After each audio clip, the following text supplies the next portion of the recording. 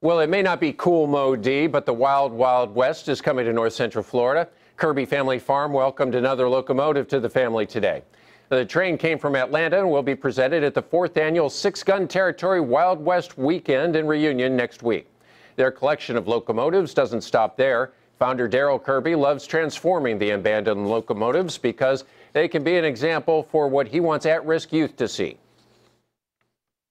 You know, it's amazing how you can relate something so simple as an old abandoned train to how they're feeling inside. You know, imagine a foster child, you know, they feel pretty abandoned at times and we've used our equipment out here to make that connection with them. Kirby Family Farm is an educational facility working with at-risk and special needs children. The fourth annual Six Gun Territory Wild West Weekend and Reunion will be September 8th through the 10th. Vendors will be offering art, collectibles, and food. Amusement rides will be available as well.